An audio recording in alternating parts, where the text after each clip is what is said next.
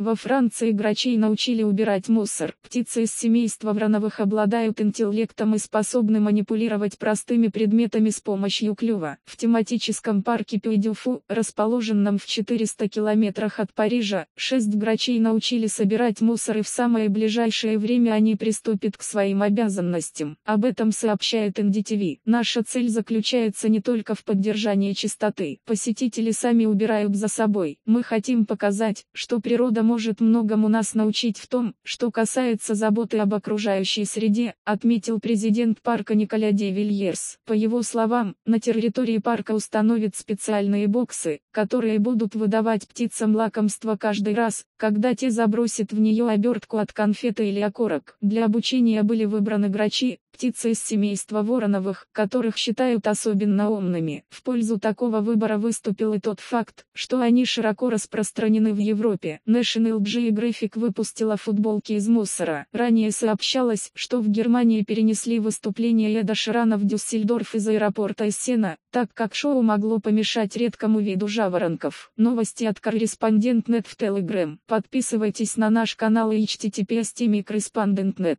По материалам сайта Newsgro.com.